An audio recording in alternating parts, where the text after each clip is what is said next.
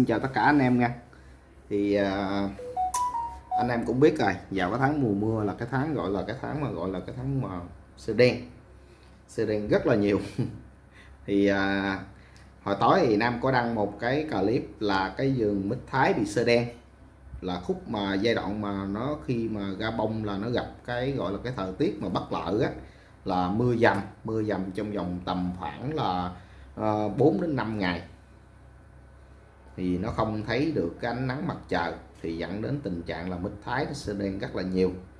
Thì à, theo như cái cái à, một số anh em khờ manh nói là Nam làm một cái clip nói về cái vấn đề sơ đen và cách trị sơ đen như thế nào để cho nó hiệu quả cao. Thì à, thôi sẵn dịp đây thì à, Nam cũng sẽ làm một cái clip nói về cái vấn đề là sơ đen mít thái nha. Thì cái sơ đen mít thái á, thì à, Nam thấy như thế này nó sẽ có hai cái điều kiện. Một á, là những nhà vườn nào mình trồng cái mật độ nó thưa á, thì cái tỷ lệ sơ đen nó sẽ giảm. Hai á, là những cái, cái vườn mật độ trồng hơi dày thì cái tỷ lệ sơ đen nó sẽ cao. Tại vì do cái là cái khi mà mình nói là nôm na là mưa á, khi mà nước mưa mà nó mưa xuống á, đối với những những cái miếng vườn mà trồng thưa á, thì nó sẽ tiếp được cái nắng mặt trời. Khi mà mưa xuống rồi á, nó có khoảng một tiếng hay tiếng đồng hồ sau nó có nắng lên thì cái nắng mặt trời nó sẽ táp vào trong được cái thân cây và nó làm khô được cái lượng nước mưa thì nó cũng giảm được cái tỷ lệ sơ đen. Còn đối với những cái giường nào mà cái giường mà nó nó nó thường á, là những cái giường á, mà có cái độ mà gọi là trồng hơi dày á, cái mặt độ hơi dày á, thì cái nắng mặt trời nó sẽ không táp được vô trong cái thân của cây mít mình thì nó làm cho cái độ ẩm nó cao á, dẫn đến tình trạng là nấm và phẫn nó sẽ gây hại rất là cao trên nhà vườn chúng ta.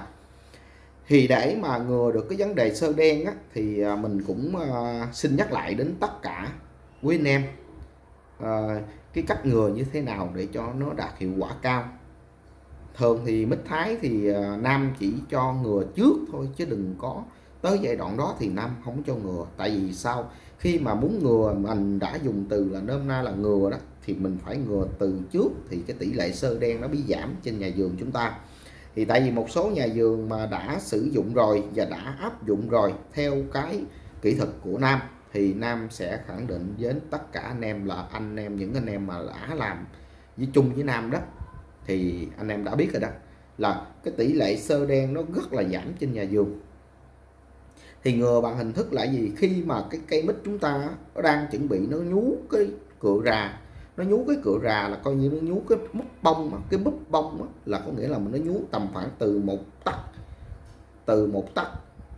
Thì giai đoạn này chúng ta đã phun ngừa sơ đen thì phun ở đây á, là mình phải phun ngay thời gian ban đầu để ngừa được cái tỷ lệ nấm và phẫn nó sẽ xâm nhập vào trong cái bao phấn và lúc giai đoạn thụ phấn của trái mít chúng ta. Thì tỷ lệ sơ đen nó sẽ giảm rất là cao. Thì còn về ngừa cái vấn đề sơ đen á thì à, ngừa bằng cái sản phẩm nào? Thì à, chắc là là khá là nhiều anh em cũng sẽ biết về cái sản phẩm mà nam ngừa sơ đen trên nhà vườn Thái đó là nam xài cái sản phẩm là bộ siêu nấm siêu phẫn. Đặc biệt cái siêu nấm siêu phẫn ở đây á, là cái siêu nấm nó tới ba hoạt chất. Simosanin mancozeb mantasi. Còn cái chai siêu phẫn nấm á, thì nó là cái gốc nina. Nina ở đây là 80 gram trên lít. Thì cái gốc này nó rất là cao. Thì một bộ này thường á, là năm cho pha vô là cỡ khoảng là là là 400 lít nước. Để ngừa cái vấn đề sơ đen thì ngoài ra mình có thể mình cộng thêm. Ngoài ra anh em thuốc ngừa sơ đen như chẳng hạn thuốc bệnh, anh em vẫn cộng thêm thuốc sâu được, bình thường không sao hết.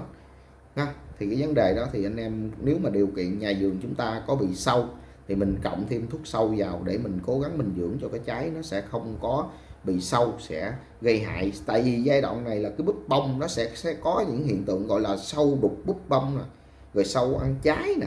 Đó nó nhiều cái cái cái đối tượng bởi vì ra là mình cố gắng mình quản lý tổng thể thì cái vườn mít chúng ta trái nó mới ra được đẹp và nó hạn chế được cái vấn đề sơ đen. Thì anh em cứ hỏi là thời gian phun là phun như thế nào? Thì đối với như nam á thì nam khuyến cáo đến tất cả quý anh em chúng ta thường á, là có khoảng tầm khoảng từ 7 ngày. 7 ngày mình phun một lần 7 ngày mình phun một lần để quản lý được cái vấn đề nấm bệnh trên nhà vườn chúng ta thì nó sẽ hạn chế được cái vấn đề sơ đen còn nếu mà trường hợp mình ngày hôm nay mình phun, nó gặp vào trời nắng trời nắng đi, mà khoảng 3 ngày sau mà nó mưa 3 ngày sau mà nó mưa nó mưa, thì anh em có hỏi là có nên phun lại hay không? Thì Nam cũng nên phiên đến tất cả quý bà con nông dân của chúng ta là gì? Khi gặp những cái đám mưa như vậy, anh em cố gắng phun lại dùm cho Nam. Nhưng mà phun ở đây là gì? Mình phun ở trong thang thôi cũng được nữa quý vị. Phun trong thang thôi cũng được nữa tại vì khi mà mình đã quản lý tổng thể là mình đã vừa phun ở ngoài lá và nó đã nhiễu xuống cái lượng bông chúng ta thì nó đã vừa rồi. Nhưng mà cả khoảng 3 ngày sau mà nó gặp những cái đám mưa bất chợt đi, thì bắt buộc mình phải phun ngừa lại. Nhưng mà ở đây mình kỹ chút là gì? Mình nói nôm na là mình đi rửa bông. Là bình nước là gì? Rửa bông bằng thuốc chứ không phải là rửa bông bằng nước nha quý vị. Thì đó đó là cái cách mà để mình ngừa được cái vấn đề sơ đen như thế nào để cho nó hiệu quả trên nhà vườn sơ đen á, thì nó sẽ xâm nhập vào cái con đường gọi là cái con đường thụ phấn. Thì ngày xưa lúc mà giai đoạn nam á, đi nói chung là khởi đầu lên nam làm bông mít á, thì chắc là anh em cũng còn nhớ một số video của nam là nam cũng giải thích cái nguyên lý là nó sẽ xâm nhập vào từ cái con đường nào. Thì ngày xưa là cái nói chung là cái cái ờ, về cái cây mít á, thì mọi người cũng khá là biết về nam lần đầu thì à, cái nguyên lý mà cái sơ đen nó đi từ cái giai đoạn nào thì năm ngày xưa năm cũng có nói đến tất cả mọi người là nó đi vào cái con đường thụ phấn của cái trái mít. Thụ phấn. Giống hệt như à, mình nói nôm na là mình cũng xin à, giải thích lại đến tất cả quý anh em nhà vườn à, như chẳng hạn lúa đó. Ngày xưa thì nam cũng làm lúa đó thì giai đoạn khi mà lúa chúng ta mà đang thụ phấn đó, mà gặp những cái đám mưa là nó sẽ bị lem lép hạt. Bị lem lép hạt. Thường anh em làm lúa anh em thấy đó đáng sợ lắm. Cái lem lép hạt đó một khi mà lúa mình đang mà thụ phấn mà gặp lên gặp những cái cơn mưa cái là coi như cái lượng axit nó cao nó làm cho thúi cái hạt phấn thúi cái hạt phấn tại vì khi mà cái cái lúa của chúng ta nó hả gì cái gì? Hả cái miệng ra để nó thụ phấn vào thì nó bị hình thành được cái tinh bột hay còn gọi là cái hạt gạo của chúng ta. Khi mà nước mưa mà nó vô được cái là coi như nó sẽ bị úng cái hạt phấn này thì làm cho cái vấn đề thụ phấn nó sẽ không diễn ra được tốt hình thành được cái gạo của chúng ta thì bắt đầu nó sẽ bị thúi bị hư. Thì thường hay gọi là lem lép hạt là như vậy. Thì còn về mít á, nguyên lý mít thì nó cũng giống thịt như cái hạt lúa của mình mà thôi. Nó cần phải thụ phấn. Thì cái vấn đề thụ phấn ở đó nó sẽ xâm nhập vào cái con đường đi thụ phấn thì mình phải cố gắng là diệt đi những bào tử nấm và vi khuẩn trước khi giai đoạn trái mít của chúng ta nó thụ phấn. Thì tỷ lệ sơ đen trên giường chúng ta nó rất là đạt. Còn một số anh em hỏi là ngoài ngoài ra xịt những cái dòng nào để hiệu quả người sơ đen? Thì cái này thì uh, Nam cũng uh, xin uh, chia sẻ đến tất cả quý bà con nông dân của mình. Tại vì theo như Nam á Nam muốn mà làm một cái vấn đề gì đó thì Nam cần phải có sự nghiên cứu. Có nghĩa là Nam phải đích thân Nam đi xử lý giường và Nam coi cái hiệu lực cái hiệu quả thuốc nó như thế nào.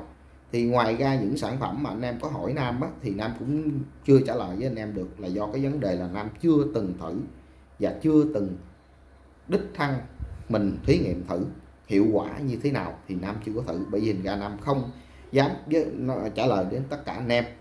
Tại vì do một cái sản phẩm để ngừa được cái vấn đề sơ đen á, thì Nam đã trải qua một cái giai đoạn gọi là thử nghiệm một mùa vụ đầu tiên để coi hiệu quả hiệu lực của thuốc như thế nào.